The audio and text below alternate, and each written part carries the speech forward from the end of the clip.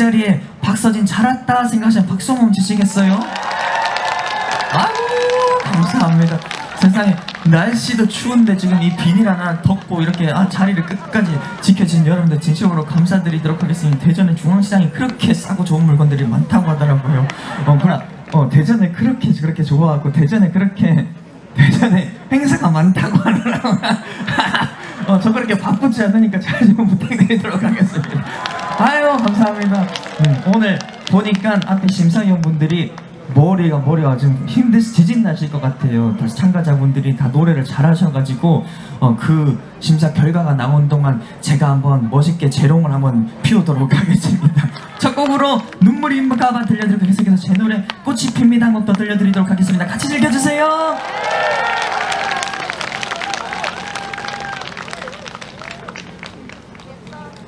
박수 소리가 작아서 음악이 안 나와요. 갑시다. 힘이다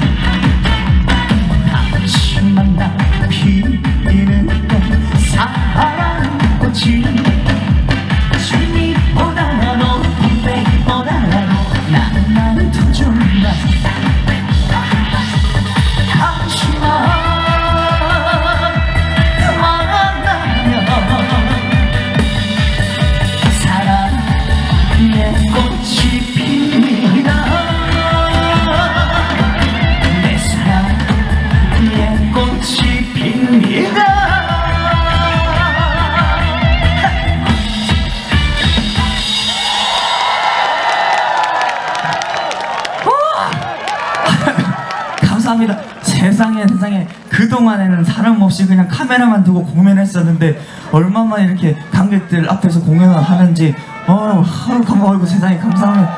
아유 감사합니다 세상에나 감사합니다.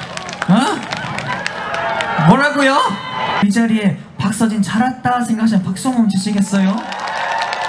아유 감사합니다. 세상에 날씨도 추운데 지금 이 비닐 하나 덮고 이렇게 아, 자리를 끝까지 지켜주신 여러분들 진심으로 감사드리도록 하겠습니다. 대전의 중앙시장이 그렇게 싸고 좋은 물건들이 많다고 하더라고요.